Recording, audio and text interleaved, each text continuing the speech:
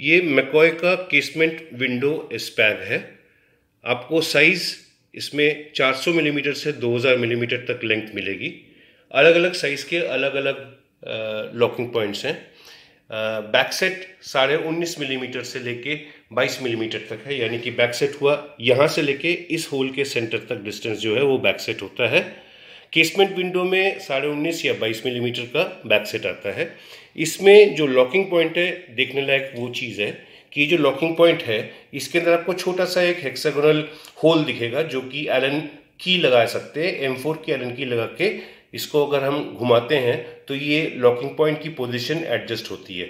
अगर विंडो के अंदर थोड़ी बहुत गैप रहती है या बहुत टाइट लॉक हो रहा है तो ये माइनर एडजस्टमेंट करके आप आराम से उस गैप को सेट कर सकते हैं या विंडो को हल्का चलवा सकते हैं।